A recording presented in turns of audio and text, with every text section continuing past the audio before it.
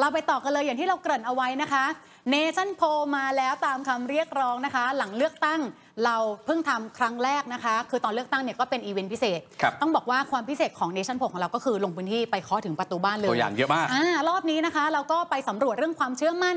ของรัฐบาลเศรษฐามานะคะ วันที่สำรวจเนี่ย คือวันที่ 14 15 16 นั่นแปลว่าหลังประชุมครม ซึ่งเราก็จะเห็นแล้วว่าครมนัดแรกออกมาเป็นยังไงมีนโยบายอะไรขึ้นบ้างอ่าก็มีการไปสำรวจเลยนะคะ ซึ่งรอบเนี้ยประมาณพันกว่าตัวอย่างนะคะ ก็เป็นการลงพื้นที่ แบ่งเป็น 2 ส่วนนะคะ มีไปที่เคาะประตูบ้านก็มีด้วยเครื่องหนึ่งแต่ด้วยความที่เรามีฐานข้อมูลอยู่แล้ว อีกเครื่องหนึ่งเราก็โทรศัพท์ไปถามข้อมูลมาน่าสนใจทีเดียวนะคะ ลองไปดูนะคะว่าผลสำรวจของ Nation Poll รอบนี้เป็นยังไงบ้าง เอาเรื่องแรกก่อนเลยนะคะ ความเชื่อมั่นของรัฐบาลเศรษฐาคนเชื่อมั่นแค่ไหน ขอเรียงลำดับไปแบบนี้นะคะคุณผู้ชมคะเอาข้อมูลตรงนี้ก่อนไปสำรวจมาทั้งหมดเนี่ย1,227 กลุ่มตัวอย่าง ก็จะเป็นกลุ่มประชาชนที่มีอายุ 18 ปีขึ้นไป กระจายทุกอาชีพ แล้วก็ระดับการศึกษานะคะ ทีนี้ผลการสำรวจความเชื่อมั่นต่อรัฐบาลเศรษฐาหนึ่งนะคะเรียงลำดับเนี่ยความเชื่อมั่นแบบกลางๆ เชื่อมั่นปานกลาง อันนี้จะเยอะสุด เชื่อมั่นกลางๆ คือประมาณ 45%ครับเชื่อมั่นมากเลยกับรัฐบาลชุดนี้ประมาณ 13%ฮะดิฉันปัดทศนิยมนะครับเชื่อมั่นมากที่สุดมากจริง ๆเลย 4.5%ครับนั่นแปลว่าเอาบวกรวมๆกันที่มีความเชื่อมั่นก็ประมาณ 50กว่าเปอร์เซ็นต์เนี่ยเชื่อมั่นอืมแต่ที่ไม่ค่อยเชื่อมั่นและไม่เชื่อมั่นเลยก็มีนะคะ ไม่ค่อยเชื่อมั่น 23เปอร์เซ็นต์ไม่เชื่อมั่นเลย 13เปอร์เซ็นต์รวมๆกันก็ประมาณเกือบเกือบ40เปอร์เซ็นต์น่ะไม่เชื่อมั่นเลยนะทีนี้อันนี้เป็นความเชื่อมั่นต่อรัฐบาลแต่ว่าต้องบอกว่าเราเพิ่งสำรวจหลังจากบริหารงานหนึ่งวันถูกไหมคะ แต่ทีนี้ไปดูนโยบายดีกว่า น่าสนใจมาก นโยบายที่ประชาชนอยากให้รัฐบาลทำมากที่สุดนะคะ เอา 5 อันดับละกัน เวลาน้อย 1. ก็จะเป็นประชานิยมหมดนะ ลดค่าพลังงาน ลดค่าไฟ น้ำมันแก๊สหุงต้มอันนี้ข้อแรกเลย ลดแล้วนะ นี่ค่าพลังงานอย่างน้อยๆค่าไฟลดแล้ว แล้วก็ลด 2 รอบติดใน 7 วันด้วย ใช่ เมื่อวานนี้ลดในส่วนของค่าไฟอีกนะคะ เป็น 3.99 บาทต่อหน่วยนะคะอ้าวลดค่าพลังงานอันดับหนึ่งลำดับที่ 2 ที่อยากให้ทำเติมเงินดิจิตอล10,000 บาทนะคะลำดับที่ 3 แก้ปัญหาหนี้สินพักหนี้เกษตรกร ลำดับทีสี่4 เพิ่มค่าแรงขั้นต่ำ600 บาท ลำดับที่ 5 ยกระดับ 30 บาทรักษาทุกโรค อันนี้คือที่ อยากให้ทำก็ประชานิยมหมดเลยนะใช่ก็อยากให้ทำก็ไม่แปลกเป็นเรื่องครับอะไรที่มันเกี่ยวกับค่าครองชีพเกี่ยวกับปากเงินท้องในกระเป๋าเอออมก็อยากให้ทำส่วนที่ไม่อยากให้ทำข้อแรกเลยไม่อยากให้ทำกัญชาทางการแพทย์ แล้วกัญชาเพื่อสุขภาพ เพื่อสร้างมูลค่าในเชิงเศรษฐกิจ อันนี้ไม่อยากให้ทำโอ้อันนี้ยากเออเรื่องแหละกัญชาทางการแพทย์ไม่อยากให้ทำเกี่ยวกับพรรคร่วมรัฐบาลอย่างภูมิใจไทยอะสิค่ะ ส่วนเรื่องที่สองที่ไม่อยากให้ทำอะเติมเงิน 1 0,000 บาทดิจิทัล ไม่อยากให้ทำฮะอันนี้เอ๊ะนิดหนึ่งว่าเอเสียองทำไมนะแตกเสีเสียยงงแตแตกกนะคะสามที่ไม่อยากให้ทำคือการแก้ไขรัฐธรรมนูญ โดยไม่แก้หมวดสถาบันพระมหากษัตริย์ ไม่อยากให้ทำสี่รถไฟฟ้า 20 บาทตลอดสายอืมอันน่าจะดีไม่ใช่หรอทำไมคนไม่อยากให้ทำห้าบัตรสวัสดิการแห่งรัฐ ก็ไม่อยากให้ทำครับอะมีอีกนะคะ ไล่เลียงไปตอนนั้นเป็นพ่วงแถลงนโยบายด้วยนะคะ ก็จะมี รัฐมนตรีที่แถลงและชี้แจงนโยบายได้โดนใจ โดนใจที่สุด 5 ลำดับแรก1ทวีสิน 2 ไม่มีใครโดนใจเลย 3 คุณอนุทิน 4 คุณหมอชลนาน 5 คุณสุทินคลังแสง ส่วนรัฐมนตรีที่แถลงนโยบายน่าผิดหวังที่สุด 1 คุณอนุทิน 2 ไม่มีใครเลย 3 คุณเศรษฐา 4 คุณหมอชลนาน 5 คุณสุทินคลังแสง เท่ากับว่ากลุ่มนี้น่าจะคนละคนกันนะครับเพราะว่าไม่ตรงเหมืกันนเลยเหมือนฐานแฟนคลับที่เออตอบโพลเราจะแยกกันชัดเจนยังน่ะไงไม่รู้ ทีนี้สสฝ่ายค้านล่ะ ที่ชี้แจงนโยบายได้โดนใจที่สุดหนึ่งตัวตึงทั้งนั้นค่ะฮะคุณวิโรธคุณลังสิมันต์โรม คุณชัยธวัฒน์มีคุณชวนหลีกภัยเข้ามาด้วยแล้วก็มีคุณไอติมพลิต เอาย่อๆแล้วกันเพราะว่าเดี๋ยวเราคุยกับพอเนชั่นโพกัน ครับ นี่เป็นครั้งแรกที่เราเริ่มทำ Nation Poll ครั้งที่หนึ่งหลังจากนี้เราจะเก็บทุกไตรมาสเท่าที่เราเข้าใจนะ แล้วเดี๋ยวจะดูคะแนนนิยมไปเรื่อยๆ เพราะณตอนนี้เดี๋ยวคำถามแรกที่จะถามอาจารย์เชษฐาก็คือว่า ณตอนนี้สุดท้ายแล้วมันเป็นก้าวไกลกับเพื่อไทยแข่งกันโดยสมบูรณ์ไหมคะแนนนิยมของสองพักนี้จะขึ้นขึ้นลงหลังจากทำโพลหลังจากนี้หรือไม่ ไปพูดคุยกันเลยครับ กับผู้ช่วยศาสตราจารย์ดรเชษฐาทรัพย์เย็นอ่านชื่อดี ๆ นะคะครับเชษฐา ไม่ใช่เศรษฐานะครับท่านเป็นผู้อำนวยการ Nation p o เป็นผู้ช่วยอธิการบดีมหาวิทยาลัยนวมินทราธิราช และตอนนี้ท่านอยู่ในสายกับเราแล้ว สวัสดีครับ อาจารย์เชษฐา สวัสดีอาจารย์เชษฐาค่ะ ครับ สวัสดีครับ คุณกวางคุณตาครับ อ่านดีๆนะครับ ไม่ใช่เศรษฐานะครับครับแซวแซวอาจารย์ด้วยนะคะ อาจารย์คะ ผลโพลสำรวจออกมารอบนี้เรื่องความเชื่อมั่นของรัฐบาลเศรษฐาหนึ่ง จากตัวเลขที่อ่านให้คุณผู้ชมได้ฟังแบบย่อๆเนี่ย อาจารย์สรุปให้ฟังหน่อยค่ะ ว่าทั้งหมดนี้ตัวเลขสะท้อนอะไรบ้างคะอาจารย์คะ ก็เอาอันดับแรกเลยนะครับว่าแฟนคลับมีการแบ่งแยกกันชัดเจนระหว่างกลุ่มที่เป็นแฟนคลับเพื่อไทยนะครับ แล้วก็แฟนคลับก้าวไกลเพราะว่าอย่างหลายคำถามเนี่ยเอ่อในโซนของฝั่งที่ว่านโยบายโดนใจใช่ไหมครับค่ะก็จะให้ทางฝั่งของเพื่อไทยเนี่ยเช่นเรื่องของเอ่อรถไฟฟ้าก็มาถึงอันดับสองแต่พอเป็นฝั่งนะนโยบายไม่โดนใจ ก็ปรากฏว่าเอ่อก็มาเป็นอันดับสองเหมือนกันใช่ไหมครับแล้วถ้าดูจากเปอร์เซ็นต์ดีๆนะ คะแนนของฝั่งที่รถไฟฟ้าไม่โดนใจ20บาทตลอดสายเนี่ยคะแนนมากกว่าฝั่งที่รถไฟฟ้าโดนใจประมาณ1%กว่าๆก็คือพูดง่ายๆคือว่าแฟนคลับสองฝั่งเนี่ยแตกแยกกันอย่างชัดเจน จากที่เคยรักกันเมื่อหลังวันที่ 14 พฤษภาตอนนี้ไม่รักกันแล้วครับ แล้วก็อีกประการหนึ่งคือว่าในส่วนของคะแนนนิยมที่เชื่อมั่นต่อรัฐบาลคุณเศรษฐาเนี่ยในข้อคำถามที่เราสัมภาษณ์เนี่ยเรามีการเก็บด้วยว่าผู้ที่เราถามเอ่อ แบบสอบถามเนี่ยเขาเลือกพักไหนตอนอืม14 พฤษภา เราเลครัยบเอามาทำเป็น cross check ได้ว่า คนที่เลือกพักนี้ลงแต่ละข้ออย่างไร คนที่เลือกพักนี้ลงแต่ละข้ออย่างไร ก็เลยเห็นชัดเจนว่าคนที่เลือกพักก้าวไกลเนี่ยอืมแทบจะไม่เห็นชอบหรือเห็นด้วยอย่างยิ่งกับความเชื่อมั่นในรัฐบาลเศรษฐาเลยนะครับ ส่วนทางฝั่งของพรรคเอ่อเพื่อไทยเนี่ยก็จะเห็นด้วยเป็นจำนวนมาก แต่สิ่งที่เป็นข้อน่าสังเกตประการต่อมาคือว่า แม้ฝั่งของเพื่อไทยเองเนี่ย ซึ่งโดยปกติเนี่ย ถ้าเป็นแฟนคลับแบบประเภทแบบ ultra ในภาษาฟุตบอลอะเนาะฮะคือแฟนคลับแบบเชียร์สุดริ่มเข้ข้นอย่างเงี้ยทิ่มประตูเชียร์อ่าเชียร์สุดริ่มอะครับเหมือนที่คุณตาบอก จริง ๆ แล้วเนี่ยการที่จะเชื่อมั่นในรัฐบาลเศรษฐาเนี่ยเปอร์เซ็นต์มันต้องเทมาทางเชื่อมั่นมากที่สุดกับครับมากเนี่ยเป็นอันดับต้นๆเกิน 50%แต่ปรากฏว่าขนาดคะแนนในแฟนคลับของเพื่อไทยเองเนี่ยยังเชียร์ เพื่อไทยอยู่ในระดับกลางๆในเรื่องของความเชื่อมั่นรัฐบาลเศรษฐา มันก็ค่ะสะท้อนว่าแฟนคลับเพื่อไทยเนี่ยที่เคยเชียร์เพื่อไทยสมัย 14 พฤษภาคมณวินาทีเนี้ยยังถดถอยลงอยู่ครับ ยังไม่ได้ฟื้นคืนมา อย่างเต็มที่เหมือนกับตอนเลือกตั้ง 14 พฤษภาคมนะครับ อันนี้เบื้องต้นตอนแรกก่อนครับ ครับ แสดงว่าเริ่มมีความลังเลเกิดขึ้นในฐานเสียง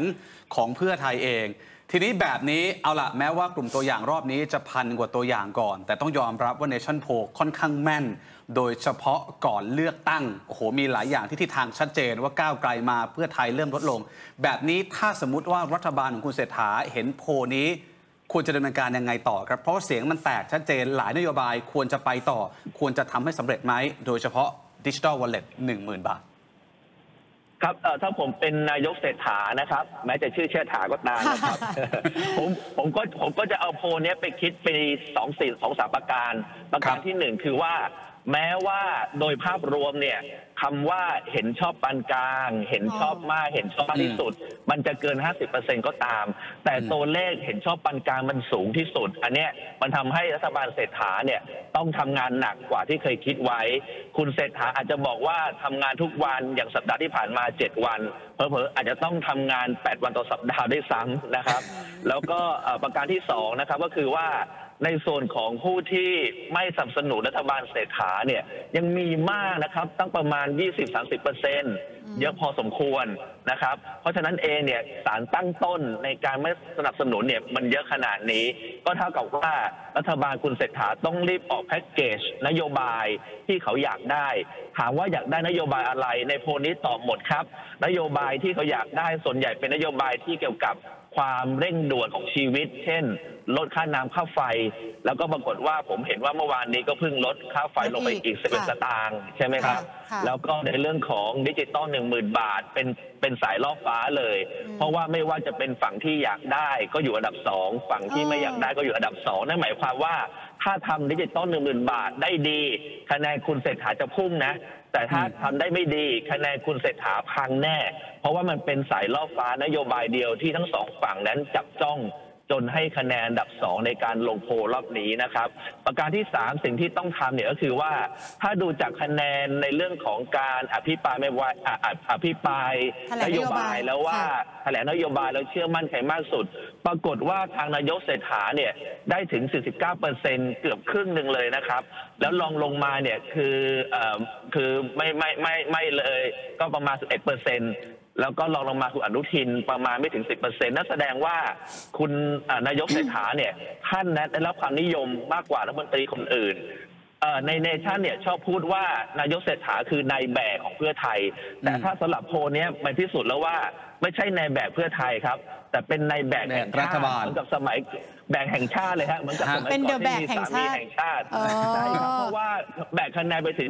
49%ที่ต้องพยายามนำพารัฐนาวานี้ให้ได้ นั่นหมายถึงว่าตัวคุณเศรษฐานี่สำคัญมาก สิ่งที่ออกมาจากคำพูดในคำแถลง หรือว่าในการทำหลังจากนี้เนี่ยต้องรอบคอบมากๆ เพราะมันมีผลต่อการเป็นตัวจุดสนใจในการถูกโจมตีจากฝั่งตรงข้ามมากครับ ตอนนี้ครับมีสามประการที่ควรทำครับฮะคือไม่ว่าผลงานจะออกมาดีหรือไม่ดี คนที่จะต้องรับหน้าไปเต็มๆก็คือคุณเศรษฐาทวีสินถูกไหมคะ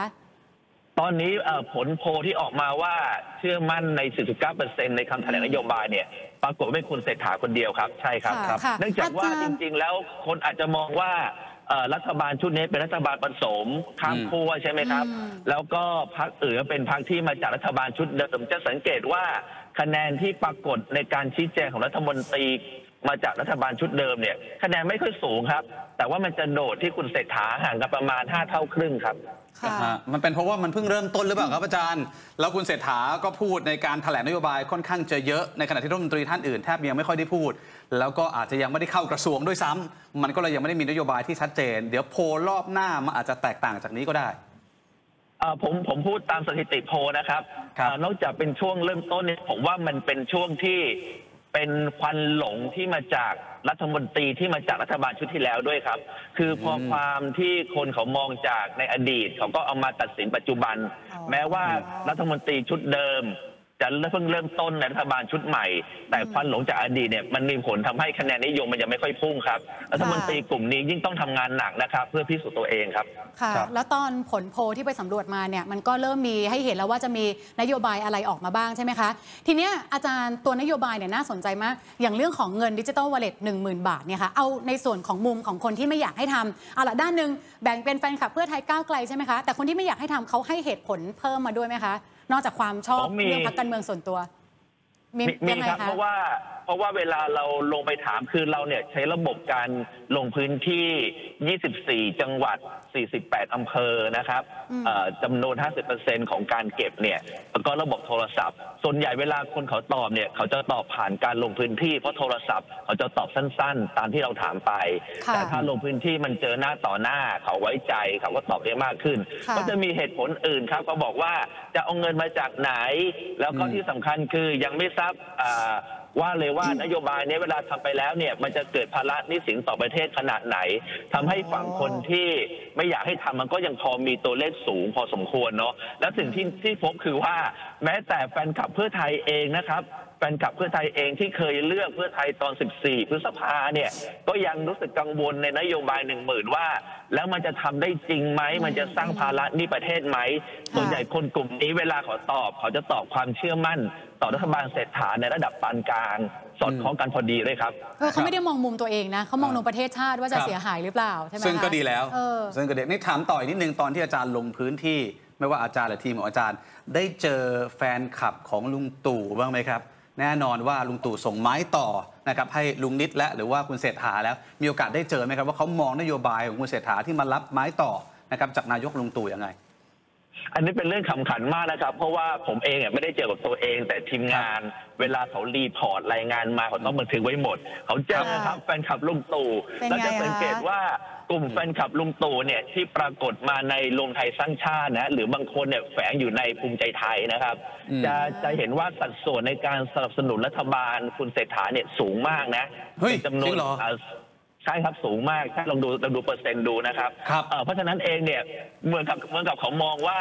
เอ่อคุณเศรษฐาเนี่ยเป็นตัวแทนของลุงตู่เพราะภาพแล้วที่ไปทำเนียบหรือเปล่า ชมนกชมไม้ไม่ผมน่าจะเกี่ยวไหมอ่าคือคือคือยังไม่ได้รับทราบข้อมูลขนาดนั้นค่ะแต่ว่าค่ะ เอ่อเหมือนกับว่าสิ่งที่เขาพูดเหมือนกับว่าเป็นตัวแทนของลุงตู่อืมเพราะฉะนั้นเนี่ยเชื่อว่ารัฐบาลเนี้ยไปได้ อันนี้คือออแฟนแฟนคลับฝั่งลุงตู่นะครับ ฝั่งลุงตู่ครับ อันอันนี้ข้อมูลใหม่เราเลยนะเนี่ยเออนายกเศรษฐาน่าน่าสนใจมาก อันนี้ครับน่าสนใจมากครับ มีกลุ่มตรงนี้เยอะไหมคะที่มองแบบเนี้ยค่ะอาจารย์คะ คืออ่าอาจจะตอบไม่ได้เยอะขนาดนั้น เพราะเนื่องจากว่าเวลาเวลาอาสาสมัครเขาถามเสร็จแล้วคนคุยเนี่ยเขาก็จะคุยให้ผลมาประมาณ4ี่ห้าคนอย่างเงี้ยครับ แต่อย่างน้อยคำพูดที่กล้าพูดออกมาเนี่ยมันสะท้อนวิธีคิดที่มันทำให้เห็นว่ามีวิธีคิดแบบนี้อยู่ครับ แต่ยังครับไม่ได้เจาะลึกไปว่าเหตุผลอะไรที่ฮะถึงมองว่า เป็นการเอ่อรับไม้ต่ออมจากลุงฮะตู่ใช่ไหมคะเพราะว่าใช่ครับใช่ครับอ่าครั้งหนึ่งลุงตู่ก็เคยเป็นเดอะแบกเหมือนกัน มันอาจจะมีภาพลักษณ์คล้ายๆกันแบบนี้หรือภาพเปล่าของผู้นำประเทศหรือเปล่าคใช่ไหม ที่ต้องรับทุกอย่างไว้หมดทุกริเอียบทก็จะถูกวิพากษ์วิจารณ์หมด ค่ะอาจารย์ขาขอกลับมาที่นโยบายอีกทีหนึ่งนะคะ ว่านโยบายที่ไม่อยากให้ทำเอาข้อแรกคือกัญชาทางการแพทย์เขาให้เหตุผลไหมครัคะ บ ว่าเพราะอะไรคะ อ๋ออันนี้มีอันนี้มีครับ ส่วนใหญ่คนที่ตอบไม่อยากให้ทำกัญชาทางการแพทย์เนี่ยมาจากฝั่งของก้าวไกลกับประชาธิปัตย์นะอืมไม่ใช่ก้าวไกลอย่างเดียว มีกลุ่มที่เป็นแฟนคลับประชาธิปัตย์สูงด้วยใช่ ค่ะ อันนี้คิดว่าเป็นแรงเหวี่ยงที่มาจากการหาเสียงเมื่อตอนก่อน 14 พฤษภาที่มีการโจมตีเรื่องกัญชามากนะครับ แล้วทำให้คนทั่วไปก็เข้าใจว่ากัญชามันไม่ดีเลยอืมโดยที่อาจจะไม่รู้ว่ากัญชาทางการแพทย์อาจจะเป็นอีกแบบเนาะแต่ว่าอาจจะไม่เข้าใจเขาเลยปฏิเสธเลยครับครับเขามองว่าไม่ดีอะครับใช่ครับฮะอันนั้นพอเข้าใจได้มันก็ชัดเจนว่าใครเป็นคนตอบ ทีนี้ถามต่อผมพยายามดูนะครับในคำตอบที่ออกมา ตอนที่อาจารย์ถามอาจารย์และทีมงานได้ถาม คำถามเกี่ยวกับเรื่องนโยบายปฏิรูปต่างๆไหมครับปฏิรูปตำรวจ ปฏิรูปกองทัพ เพราะว่าดูเหมือนว่ามันจะไม่ติดอยู่ในโพลเลย มีครับเอ่อเราเรา list นโยบายไปประมาณเกือบ 30 นโยบายนะที่รัฐบาลครับแถลง แล้วก็มีพวกนี้อยู่ด้วย ปรากฏแต่อยู่ในโพลแต่ติดอันดับเปอร์เซ็นต์ที่ไม่ค่อยสูงครับเอ่ออยู่อยู่ในกลาง กลางกลางๆของประมาณเอ่อเกือบ 30 คำถามสามสามสิบนนโยโยบายบายเนี่ยครับก็คือไม่ท็อปไม่10ไม่ค่อยสูงแปลว่าปากท้องก่อนเลยไม่ไม่ไม่ท็อปอืม10ใช่ครับใช่ครับค่ะปากท้องมาก่อนจริง ๆ ครับ รอบนี้ครับค่ะ อาจารย์คะทีนี้อะตัวเลขต่างๆ ของผลโพลที่ออกมาเนี่ยถามเป็นมุมมองส่วนตัวของอาจารย์ได้ไหมคะว่าทั้งหมดครับตัวเลขที่ออกมานะคะ มุมมองของอาจารย์เนี่ยเห็นด้วยหรือเห็นต่างกับตัวเลขที่ออกมาคะเอ่อถ้าดูจากกระแสปัจจุบันผมเห็นด้วยนะ เพราะว่ามันสะท้อนในสิ่งที่ว่าเอ่อ ก่อนหน้านี้เนี่ยมันมีโพลหนึ่งนะครับเอ่อถ้าจะไม่ผิดเป็นของดีโวดที่ได้ทำโพลใหม่ ๆ หลังจากที่รัฐบาลเพื่อไทยได้นายกเศรษฐาจำได้ไหมครับศรีปทุมใช่ไหมจำได้จำได้แล้วอ่าสีปทุมแล้วปรากฏค่ะว่าคะแนนเพื่อไทยต่ำมาก ซึ่งคนเขาผิดหวังจากการที่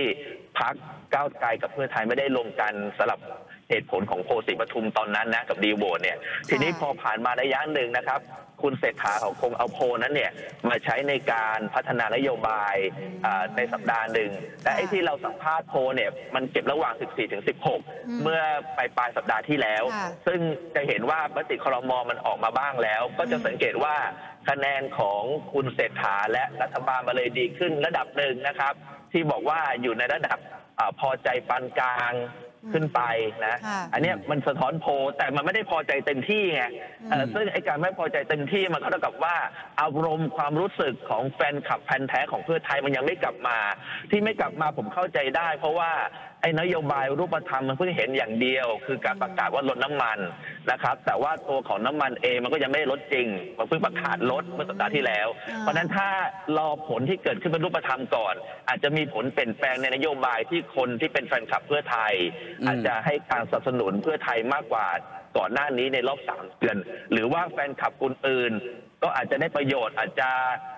สนับสนุนมากขึ้น อันนี้ต้องรอดูโพลต่อไปครับอะครับแต่ถามว่าอันนี้สะท้อนไหมสะท้อนครับ โพลต่อไปสามารถปรับเปลี่ยนคำถามได้ตามสถานการณ์ไหมครับ เพราะว่าคุณผู้ชมหลายคนอยากฝากคำถามที่มันอาจจะดูเจาะลึกกว่านี้เซ็กซี่กว่านี้เช่นในอนาคตอาจจะอยากถามเจาะเป็นตัวรัฐมนตรีไปเลยว่า ชอบรัฐมนตรีคนไหนมากที่สุด นโยบายที่ผ่านมาอันไหนที่รู้สึกว่าได้ผลอันไหนที่เรียกว่าเละเทะอะไรแบบเนี้ยครับใช่ครับเราเราวางแผน step สองตรงนั้น แล้วก็เราวางแผนต่อด้วยว่า เราอยากจะเก็บไว้ว่า ผ่านไปประมาณสักสามเดือนแล้วเนี่ยอืมอ่าคนคนยังจะเลือกเพื่อไทยกี่เปอร์เซ็นต์ก้าวไกลกี่เปอร์เซ็นต์เพื่อเช็คเลตติ้งผลการทำงานสามเดือนแรกด้วยครับครับค่ะคือวัดคะแนนนิยมให้รู้กันไปเลยนะเออถ้างั้นถามเรื่องคะแนนใช่ครับนิยมใช่ได้ไหมครัคะบจากโพลตัวเนี้ยได้ครับพอสะท้อนได้ไหมคะว่าคะแนนนิยมของเพื่อไทยกับก้าวไกลนะเวลานี้ใครคะแนนนิยมนำมามากกว่ากันคะมันมันบอกได้ไหมคะอาจารย์มันมันมันสะท้อนได้อย่างนี้ครับว่าเอ่อแฟนคลับของเพื่อไทยเนี่ยยังไม่กลับมา เพราะฉะนั้นคะแนนนิยมเพื่อไทยเนี่ยจึงมีนัยยะได้ว่ายังไม่ฟื้นคืนนะครับอ่าส่วนคะแนนของก้าวไกลเนี่ยจะสังเกตว่าแฟนคลับเขาแน่น เพราะว่าเขานั้นให้ความเชื่อมั่นในพักก้าวไกลที่จะทำหน้าที่ฝ่ายค้านเนี่ยถึง 70%นั่นก็เท่ากับว่าคะแนนเขายังอยู่ในระดับ 70%กับ ต่อฐานเสียงของก้าวไกล100%อยู่ นั่นก็คือว่าแฟนคลับก้าวไกลยังเหนียวแน่นอยู่ครับตอนนี้อืมถ้าถามความเหนียวแน่นเนี่ยก้าวไกลยังเหนียวแน่นมากกว่าเพื่อไทยณวินาทีนี้ครับค่ะ แล้วครับเขาแบ่งเป็นเอ่ออายุล่ะคะเพราะว่าผลสำรวจเรา 18 บวกบวกๆใช่ไหมคะฐานอายุมีผลไหมกับเรื่องของคะแนนความนิยมอะค่ะ ฐานอายุนี่เหมือนกับตอนเลือกตั้ง 14อ่าพฤษภาเลยครับ คือว่าต่ำกว่า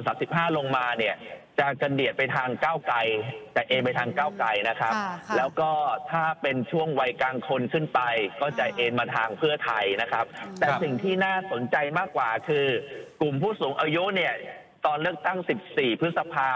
ที่เคยลงให้กับลุงตู่พักลุงตู่เยอะ ๆ นะครับค่ะเอ่อปรากฏว่าในรอบนี้นะครับ เทมาลงให้กับทางฝั่งรัฐบาลหมดเลยครับอืมก็เพราะฉะนั้นก็มันพักลุงอยู่กับรัฐบาลแล้วคะน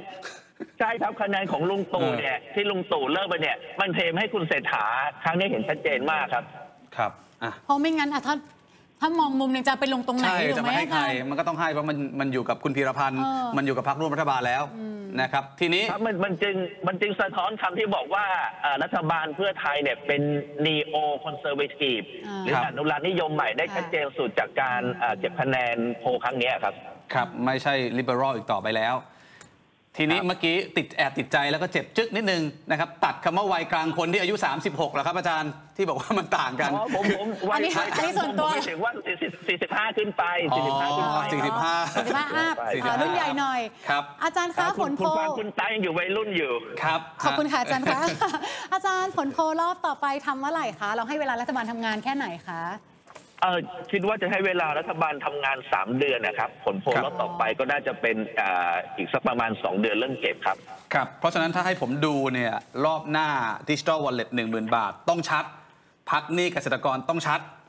เพิ่มค่าแรงขั้นต่ำรอบแรก แล้ว ต้องชัดถูกไหมครับ ทั้งหมดนี่คือต้องชัดเจน ใช่ครับ เพราะมันคือช่วงปีใหม่แล้วว่าเออก็รัฐบาลพยายามจะบอกว่าหลาย ๆ นโยบายจะให้เป็นของขวัญปีใหม่ประชาชน ครับ อุ้ยอาจารย์ไปถามตอนนั้นก็คะแนนนิยมน่าจะพุ่งเออนะ น่าจะพุ่งเหมือนกันนะ ฮะมีส่วนไหมคะใกล้ปีใหม่ด้วยคือคือคืออย่างนี้ฮะผมว่าไอ้ที่ชัดเจน ในไตในไตรมาสแรกเนี่ยคือลดน้ำมันลดค่าไฟ ค่ะแต่ดิจิตอลมันยังไม่มานะ มันยังไม่มาในสามไตรเดืมาอสนหนึ่ง นี้แต่ว่าแต่ว่าใช่พระเห็นฉะมันมันอาจจะพุ่งไม่เยอะฮะ แต่คุณชรพันธ์บอกว่าน่าจะมีความชัดเจนภายในหนึ่งสิบเดือน สิบเรื่องของวันนี้ระบบระบบที่มา อะไรแบบนี้ที่มาว่าจะทำอะไรยังไง แต่คนอาจจะไม่ได้แบบ งั้น ถ้าคนที่รอตังค์จริงๆอะจะรอว่าเออจะฉันจะได้ใช้ตังค์เมื่อไหร่ฮะ ใช่ไหม อ่าส่วนใหญ่ส่วนใหญ่ที่ที่ไปเก็บโพลมาเนี่ย ชาวบ้านจะดูที่หน้างานครับ ครับ ดูที่ผลที่ที่ที่อ่าที่ได้รับมาครับ ครับค่ะค่ะถ้าอย่างนั้นถ้าสมมุติว่ามีคำถามจากประชาชนคุณผู้ชม แฟนรายการ อยากให้ใส่ลงไปในโพลก็รบกวนอาจารย์เชษฐาพิจารณาด้วยนะครับเผื่อว่ามีบางคำถามน่าสนใจอ๋อได้ได้ครับ เพราะว่าทางเนชั่นโพนะครับ โดยเนชั่นทีวีร่วมกับสถาบันอนาคตศึกษาเพื่อการพัฒนาเนี่ย เราต้องการจะทำโพลที่เป็นการวัดคะแนนในรายไตรมาสเพราะฉะนั้นถ้าท่านผู้ชมนะครับ อยากจะฝากอะไรมาเรียนเชิญได้เลยครับ ได้ครับค่ะ อาจารย์อะทิ้งท้าย อาจารย์อยากฝากอะไรคุณผู้ชมที่เป็นคอการเมืองที่ติดตามการเมืองอยู่ตอนนี้ไหมคะ ครับผมอยากจะฝากอย่างนี้นะครับว่าในการที่จะติดตามการเมืองเนี่ยผมเข้าใจดีว่าอารมณ์เนี่ยมันมักจะมานำเหตุผลเสมอ แต่สุดท้ายเนี่ยในการผลักดันนโยบายทางการเมืองบางทีก็ต้อง